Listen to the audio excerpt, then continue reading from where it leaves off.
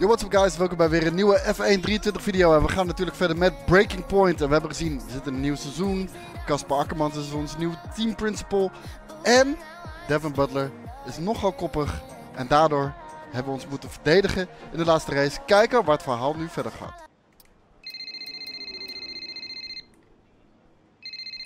You nip this in the bud, Cass. Do you hear me? Andreo, Butler, what was that out there today? I will not have a return to last season. We are a team. He cannot be allowed to do just what he wants. just calm down. I have it under control. Oh, this is Devon we're talking about. There is no control. He nearly lost the car, Casper. But he didn't. You know what it gets like out there. I'm sure there's an explanation. Or an excuse. And we'll find out. I'll be racing it at the debrief, okay? So I'll report back to you. Okay, um, hang on. Look, I've got to go. I've got Davidoff on the other line. of course you have. Enjoy. Dat was dus de drama waar ik het over had. Devin Butler bleef maar pushen terwijl hij moest doen. En daardoor bijna de hele auto naar de malle moer geholpen. Eh, zover is het dus niet gekomen. Blijft natuurlijk eh, de zoon van de grote sponsor. Ehm, let's go to the next chapter. No, it's a well, it's a big deal when one of your drivers decides to do their own thing.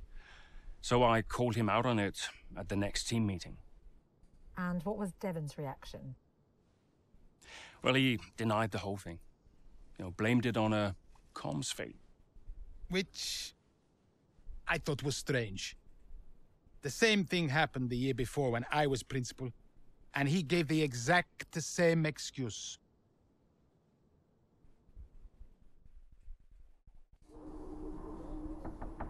Yeah? You wanted to see me? Ah, there he is. You're a difficult man to pin down.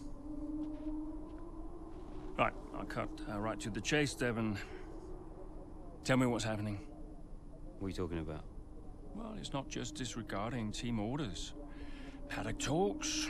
People are saying you've been distracted, that you're ignoring them completely. now, my job is to make sure the team works smoothly, like clockwork, so I'm just trying to work out what's going on. I told you, check the comms. Yeah, the comms are fine, Devon. We checked. What's going on? Nothing. Just cut that out. Show me some respect now. Okay. I heard the order. Alright? You happy? Why ignore it? I'm feeling it, Cass. The pressure. Paddock gossip these last couple of months. Oh, come on. You're Devon Butler. You are the paddock gossip. You've heard what they're saying, right? You've seen what they're writing. Driving on daddy's money. It's, uh. It's making me second guess myself. Okay. We can work through that. Start changing the the team narrative. Absolutely. But in the meantime, I'd like you to see someone from the medical team. Just to be sure. I've booked you in for this afternoon. No, no, Cass, Cass. Look, I- I've got a race to prep for, okay? I need my head in the game. I'm fine. I get that. That's fine. But I want you to see them straight after the race. Understood? Yeah. Fine.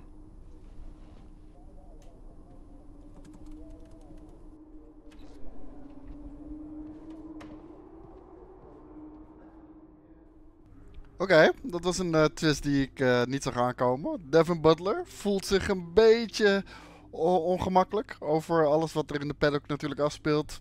In het echte leven eh, hebben we natuurlijk Lance Stroll, die de meeste raakvlakken heeft met Devin Butler. En eh, ja, het is een leuke, interessante angle. Laten we gaan racen.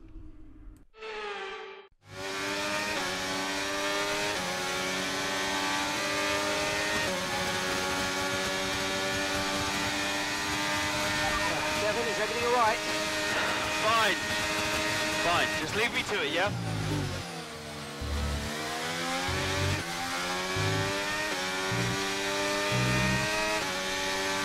Ik moet zeggen, ik vind dit een behoorlijk lastig circuit. We gaan ook gelijk off. Ik ben echt niet goed in deze, zoals je al wel kan zien. Natuurlijk ook niet kunnen oefenen. Daar ook dat we de racinglijnen aan hebben staan.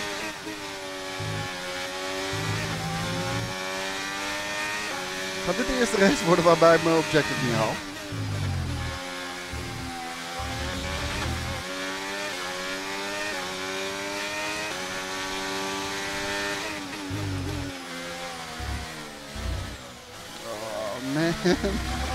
Waar ben ik mee bezig?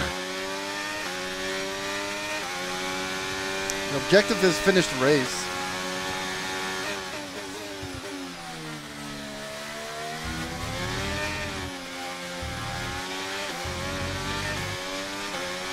Zou moeten lukken, zou je denken.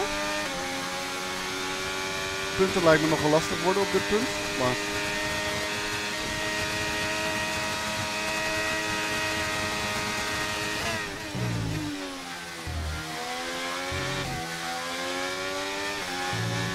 Ik kom alweer iets dichterbij.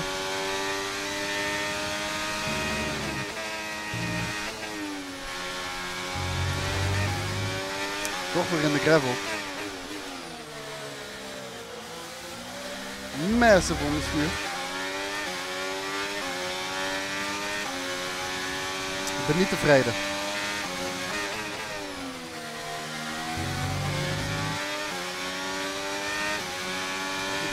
Geen snelheid in zitten.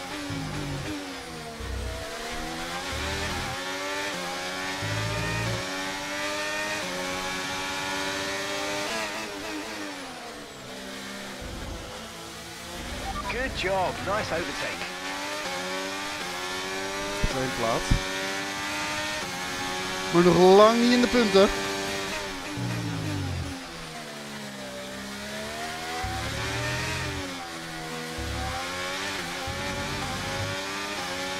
Nog wat ERS, laten we dat gebruiken.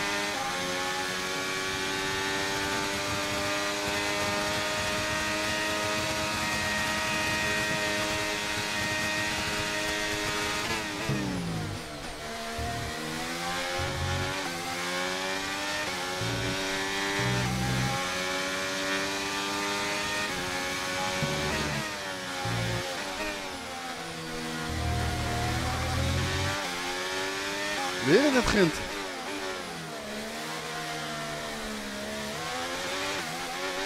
Ah! Oh man, wat heb ik een hekel aan dit circuit. Ja, ik heb geen hekel aan het circuit. Ik heb een hekel aan hoe ik rij op dit circuit. Altijd. Het is gewoon niet voor mij.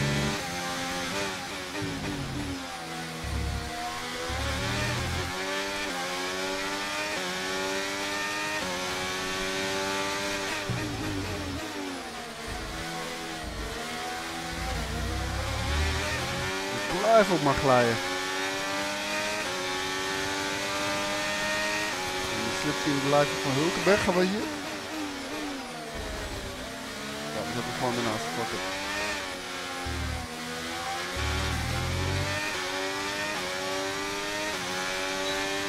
Ja, misschien zit het er toch uh, zo gek nog niet.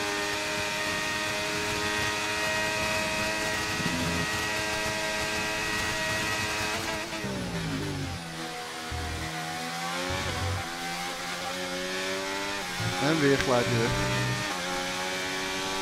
Graag maar geen grip op.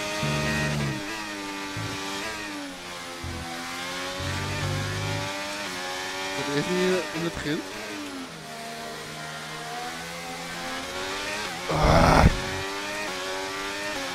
Iedere keer ervoor op gast. De auto niet genoeg gedraaid.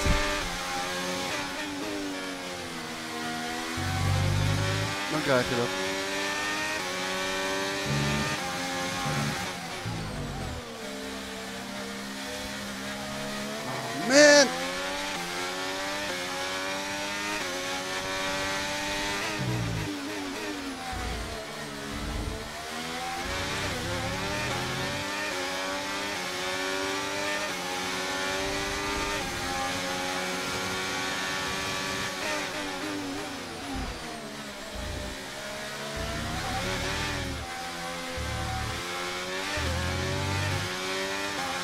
Ja, kom op zeg.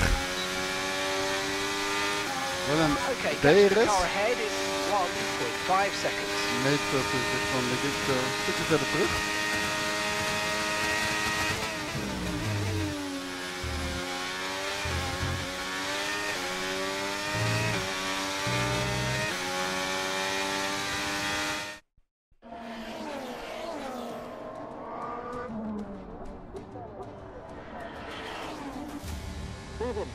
stukje verder terug.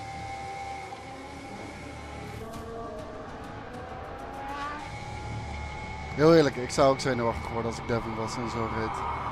Devon Butler now. Oh, that's not good. Oh no! Oh, Devon hij doet de Butler Charles. Leclerc. He's out. Oh, he just misjudges it and clips the curb. What a mess. Devon Butler, with that move, is out of the race. He won't want to see that too many times. We want to see him out of the car, though. That's good news. Big relief there, although he does still look a bit unsteady on his feet, Crofty. Well, thumbs up to the crowd, but I'd imagine after that he'll be quite shaken.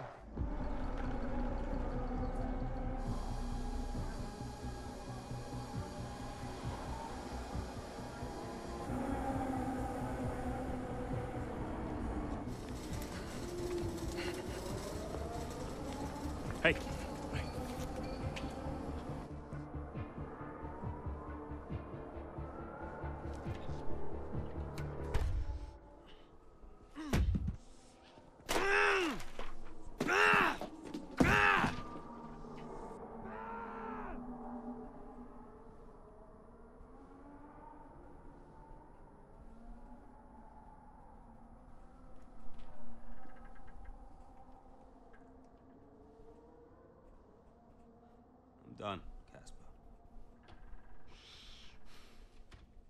I'm done.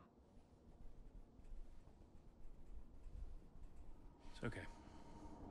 It's okay. It was his hearing. He'd been keeping it from us. I think maybe he'd been trying to keep it from himself. I mean, he was at the height of his career. Yeah, what can you say? How did you feel? I, was devastated. But, uh, five years in F1. Can't argue with that.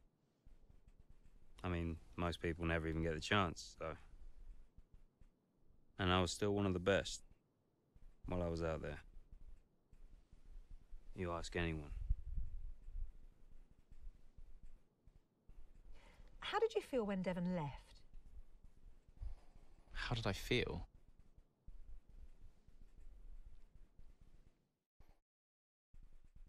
Dat was het einde van chapter 9 van F1 23 Breaking Point. En Devin Butler lijkt met pensioen te gaan. Een verplicht pensioen. Iets eh, waar hij zelf niks aan kan doen. Een blessure, iets met zijn gehoor.